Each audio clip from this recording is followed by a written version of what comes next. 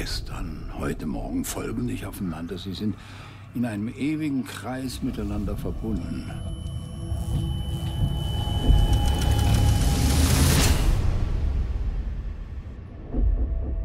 Schon vor Wochen ist in der Kleinstadt Winden ein 15-jähriger Junge auf mysteriöse Weise verschwunden. Und nun alarmiert ein weiterer Vermisstenfall die Bürger der Stadt.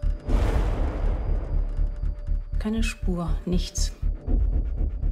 Als hätte er sich in Luft aufgelöst. Alles ist genauso wie vor 33 Jahren. Alles wiederholt sich.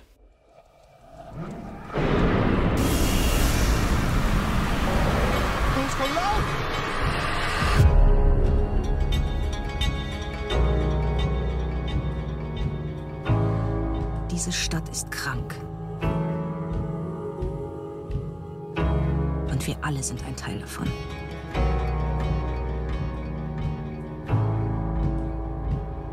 Unter uns ist ein Mörder.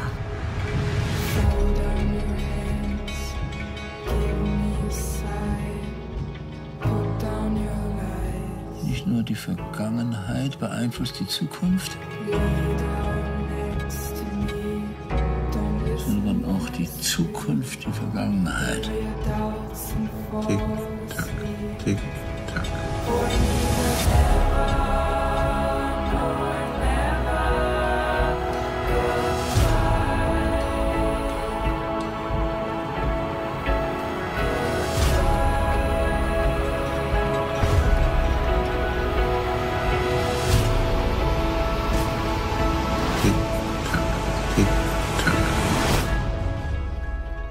Anfang ist das Ende.